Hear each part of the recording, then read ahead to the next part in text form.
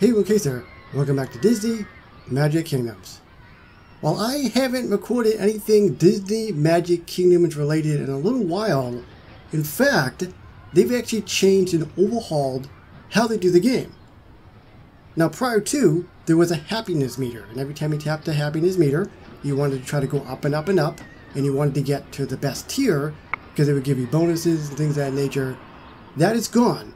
Instead, now they have a season pass. So it costs, for me anyway, $28 Canadian, so with taxes and stuff, more than that.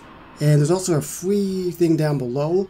And I'm going to be brutally honest, this zapped the fun out of the game for me so much that I've barely logged in at all. I've logged in like once a week. I don't know why, it just, for whatever reason, I'm just not liking how they have this setup. And I know a lot of games have a season pass, but they've never overhauled it this much that I've played anyway for some of the other games. But you'll notice at the top, there should be a character for the premium, and there should be one for the freemium. So here's a premium character, which is Charles. It is part of the up update, but it came earlier. And then at the very, very end, there is Doug. That's basically where that is it. Now we've got the up update. Like I said, there was actually an up update earlier, a few months back, maybe about a month and a half back, and it was just for the season pass. But now we actually get the other characters in a limited time event. The wilderness must be explored. Now that is a fine sentiment if I've ever heard one. Though, if there isn't any wilderness close at hand, exploring one's own neighborhood can be just as rewarding. Welcome, Russell! That's the name, huh? I honestly couldn't remember. I haven't seen the movie in many, many years. If you've never seen the Up movie, please do yourself a favor and watch it. It's so good. Alright, well, let's... Let's check out what we need. So we need... Four of Ellie's badges. And I haven't put any characters on or anything because I totally forgot. If I'd known ahead of time, well, I, I did know ahead of time, I could have had this character ready to go. And then, of course, we've got a whole bunch of characters that can get the event currency as well. I'm not going to go through the entire thing, but there's a lot. And these are all the characters. So obviously the first two characters are from the season pass. One is from the premium. Doug is from the freemium. We've got Russell. We got the old dude. I don't remember his name. And then we got you. For 500 gems, Kevin Mega Bundle. So at least everybody watching this video will get a chance to see me unlock a character anyway. So there are two free characters and a premium character in this update, and of course, Season Pass as well. So I basically have to welcome Russell, build Carl's house, and then get to the point to welcome Carl, that's their name, in eight days. So there's either going to be a lot to do, or a lot of chilling, I'm not sure. Mystery reward as well. Rewards the event currency. For now, just that. Lots of event currency. Great. Anyway. Let us welcome Kevin.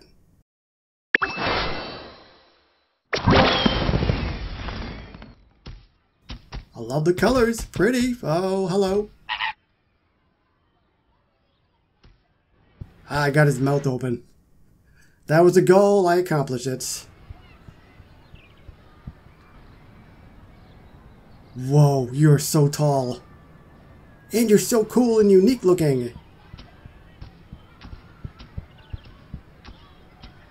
Well, Kevin, let's see what we got for characters. Gotta get rid of a character here. Send home, I don't know, you. There we go, I did it. So, we've got Watch Over Babies, Evade Capture, which drops a bottle cap, or whatever that's supposed to be. Play Together, might be a pin actually.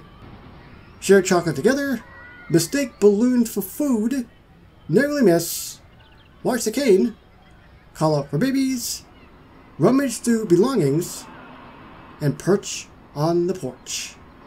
So, Kevin, as you merge into uh, the tiger there, watching over those babies.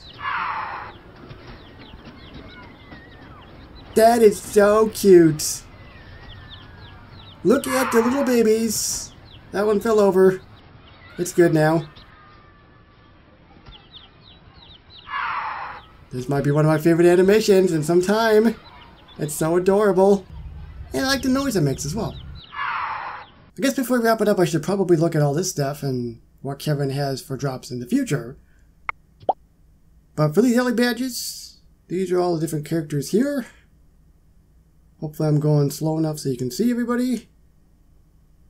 Also the up float and the chest as well. We've got Kevin's chocolate bar, and there's three characters can get them. And they are, well, you can see here, the chocolate bars are uncommon, and the hat is rare.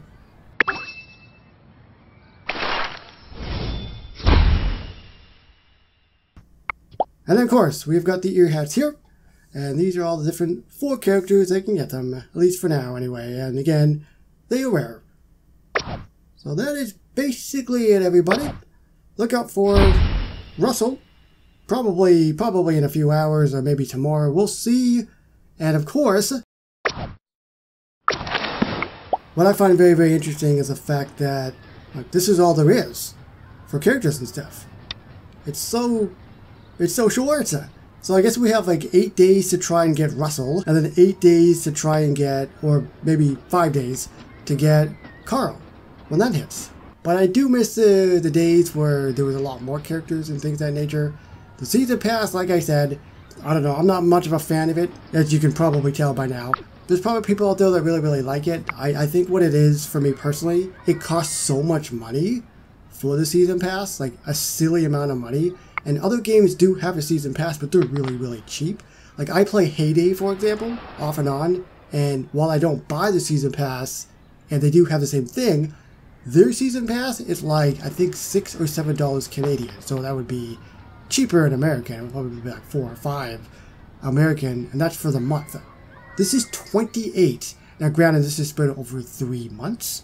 If you were to take 3 days of Hay Day, for example, you're still looking at, I don't know, half of that still? Maybe, maybe like 60% less in the end for 3 months of Hay Day compared to this. So it's just, it's too expensive. And then, of course, like I said before, at least I think I did, it's just such a long, drawn-out process that I just don't have it in me to keep doing it. I think I just lose interest really fast because of that. It seems too daunting for me personally. So I just stopped really logging in, honestly. But let me know down below, what do you think of the Season Pass and the changes and things that they've done? What do you think of the up update? Let me know, and I will see you with Russell very shortly to Disney Magic So thank you so much for watching, and I'll see you all the next time. Bye, everybody.